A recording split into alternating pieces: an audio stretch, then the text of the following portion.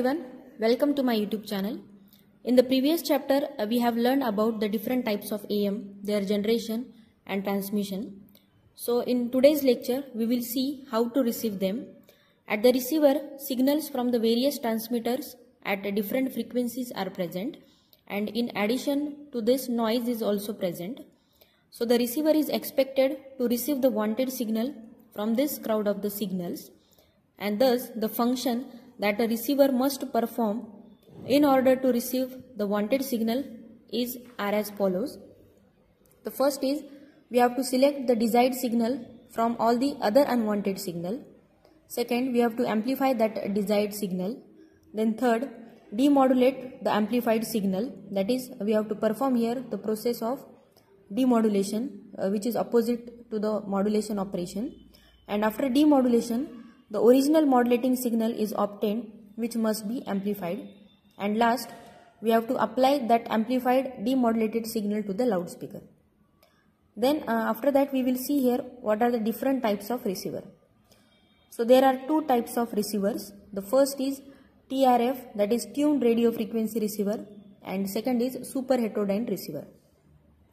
So out of them the TRF receiver is the oldest and simplest one but it has many shortcomings.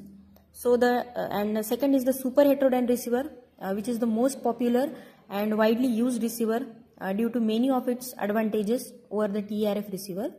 So let us discuss them one by one. The first is TRF receiver that is tuned radio frequency receiver. So here the block diagram of this uh, TRF receiver is shown in this figure.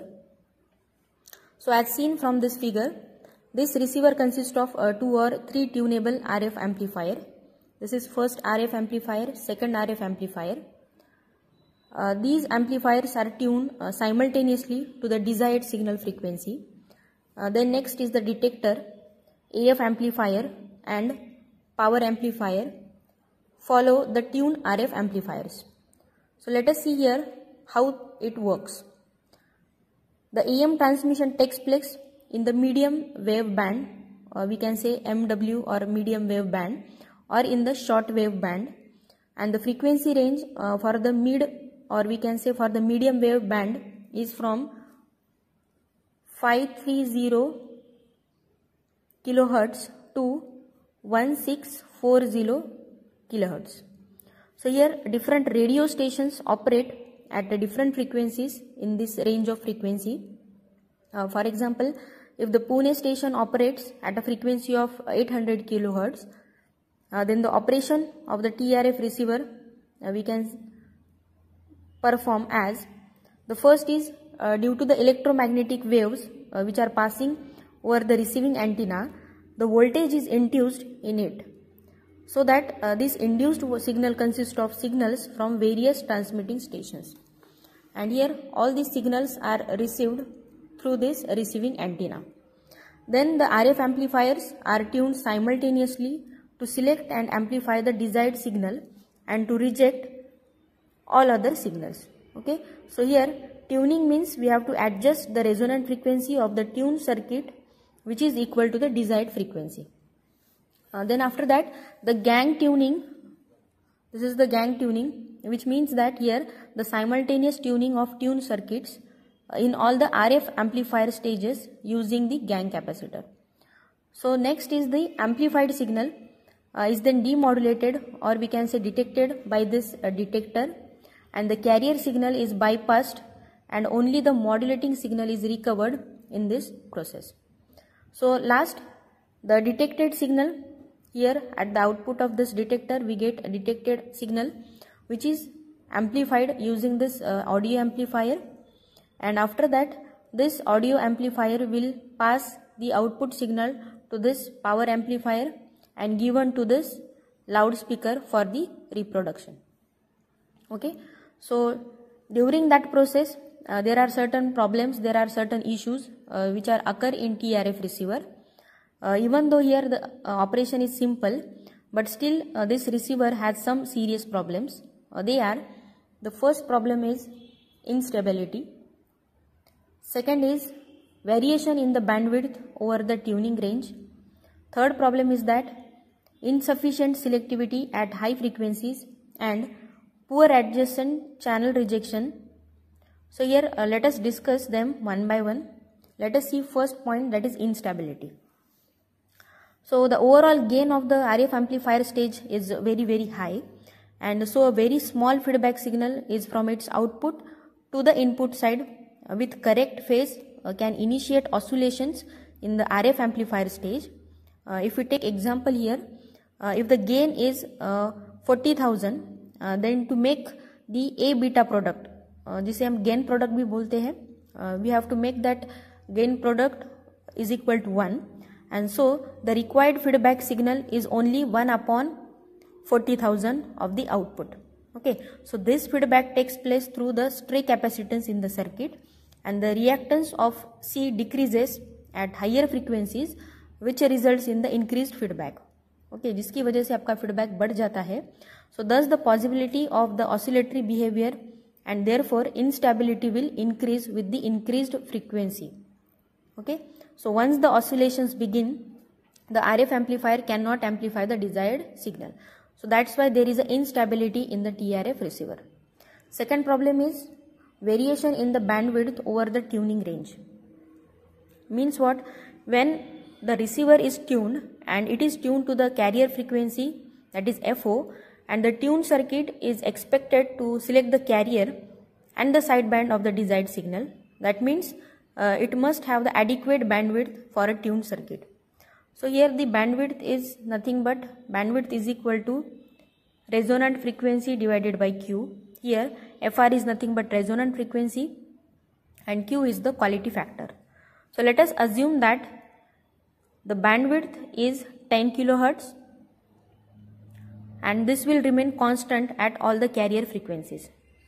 अगर ये parameter आपका change नहीं होगा that means ये अगर constant रहेगा then we have to here change the value of F R okay so if you take here the value of F R और F C is equal to five thirty five kilohertz then we can easily calculate the value of Q which is equal to Q is equal to five three five divided by ten that is fifty three point five okay and in second condition if F R is equal to F C that is 1640 kilohertz and at the same bandwidth of 10 kilohertz the required value of q will be 16 40 divided by 10 okay so here we will get the uh, value of quality factor is equal to 164 that means what? The value of q is practically unobtainable due to the various losses which are taking place at high frequency. So at the most we can obtain the q of 120 at this frequency and now the corresponding bandwidth will be what bandwidth is equal to fr divided by q the value of FR is 1640 kilohertz divided by the value of Q that is quality factor is 120 then we will get bandwidth is equal to 13.7 kilohertz okay that means uh, starting में हमने जो Q का value था हमारा uh, वो हमने बहुत ही छोटा मिला था आपको that is 53.5 then after that The Q आपको जो मिला था, ये था आपका 164 और थर्ड कंडीशन में जो आपका बैंडविड था, वो था आपका 13.7 point seven kilo hertz okay so here the required bandwidth is 10 kilo hertz so due to the increase bandwidth the receiver will pick up the adjusting channel along with the desired one so due to that variation in bandwidth over the tuning range there are some problems which are occurred in T R F receiver okay okay? Then third problem is the insufficient selectivity high at high frequencies and poor adjacent channel rejection so in that, uh, due to increased bandwidth at higher frequencies, the ability of that TRF receiver to select the desired signal and to reject all other is seriously affected and this is called as the loss of selectivity. Okay, and due to this problem of instability and poor adjacent channel rejection, the TRF receivers are not used. So they are replaced by the second type of receiver that is nothing but super heterodyne receiver. Okay? So here the problem in the trf receivers are solved in the, this receiver by converting every selected rf signal to the fixed lower frequency which is called as the intermediate frequency. That is if this is the if that is fo minus fs okay so this intermediate frequency concept is used in super heterodyne receiver this frequency contains the same modulation as the original carrier and the IF signal is then amplified and detected to get back the modulated signal as the IF is lower than the lowest RF signal frequency. So the possibility of oscillations and instability is minimized.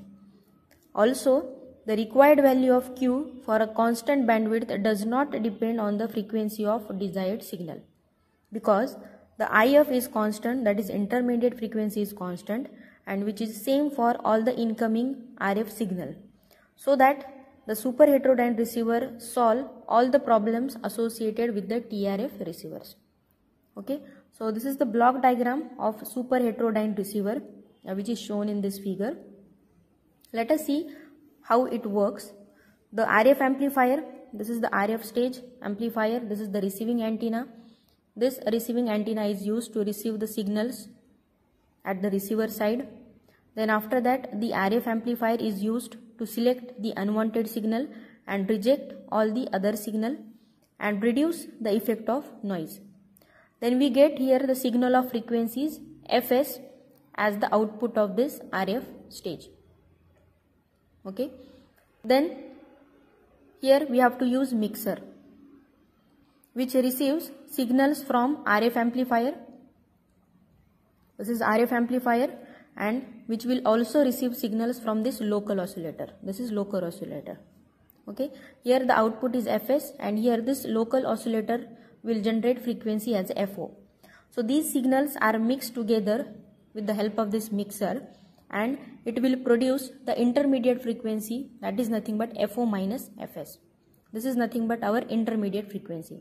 So in order to maintain the constant difference between the local oscillator and the incoming frequency, gang tuning is used and this is the simultaneous uh, tuning of RF amplifier, mixer and local oscillator and it is achieved by using the gang tuning capacitor. Okay. So after that uh, this intermediate frequency signal is then amplified by one or more IF amplifier stages and IF amplifier provides most of the gain and the bandwidth requirement of the receiver. Then therefore here the sensitivity and selectivity of the receiver do not change much with the change in this incoming frequency that is FO minus Fs. Okay. Then after that this amplified IF signal is detected by this detector unit. And to recover the original modulating signal this is then amplified and applied to this loudspeaker. Okay? And here we have to use this AGC this AGC means automatic gain control. This circuit control the gain of this RF and IF amplifier uh, which is used to maintain the constant output voltage level even when the signal level at the receiver input is fluctuating and this is done by feeding a controlling DC voltage to the RF and IF amplifiers. So the amplitude of this DC voltage is proportional to the detector output. Okay, I think ये concept आपको अभी समझ में आया होगा. Then after that, let us see what are the different characteristics of the radio receivers. So the important characteristics of the radio receivers are the first is sensitivity, second is selectivity and third is the fidelity. These characteristics are useful to judge the performance of radio receivers and these characteristics are measured under the standard operating conditions. Okay. So let us see first characteristics that is sensitivity curve. Sensitivity. Sensitivity is nothing but it is the radio receiver uh, or we can say it is defined as it is the ability to amplify weak signals. मतलब जो भी आपके signal weak signal होंगे उसको amplify करने का काम sensitivity करेगा and it is often defined in terms of the input voltage that must be applied at the input of the receiver to obtain the standard output power. So this sensitivity is measured in microvolt or decibel below 1 volt. So this figure shows the typical sensitivity curve of the receiver. It shows the variation of sensitivity over the medium wave band of frequencies okay so from this curve uh, it is evident that the radio receiver is most sensitive at about 850 kilohertz. This is the 850 kilohertz and at this point it is having the highest sensitivity. Okay and the sensitivity of the receiver is decided by the gain of RF and IF amplifier. And at the more than 1000 or we can say at 1500 kilohertz frequency which will having the lowest sensitivity. Okay? So the sensitivity measurement is carried out under standard test conditions and the am signal is applied to the receiver through the standard coupling network which is known as a dummy antenna and the output power is measured by replacing the loudspeaker by an equal value load resistances. Okay. In short uh, we can say the sensitivity is nothing but it is the ability of the receiver to amplify the weak signals. Okay. Second type of characteristic is selectivity. So the selectivity of a receiver is its ability to reject unwanted signals why there is a need to reject unwanted signal because as we know that there are n number of frequency components at the receiver side and here we want particular frequency at the receiver side so that's why we have to here reject the unwanted signal and for that selectivity is used. So the selectivity is expressed as shown in this figure. It shows that the receiver offers the minimum rejection at 950 kilohertz. This is 950 kilohertz that is at the tune frequency but the rejection increases as the input signal frequency deviations on both the sides of 950 kilohertz. So this is the 950 kilohertz frequency. And the selectivity of the super heterodyne receiver is determined by the frequency response characteristics of the IF amplifier. We know that in super heterodyne receiver, we are using IF amplifiers and RF stage amplifiers so that we can say the selectivity of that super heterodyne receiver is determined by the frequency response characteristics of the IF amplifier. Okay, so the response of the mixer and RF amplifier stages also plays a small but significant role.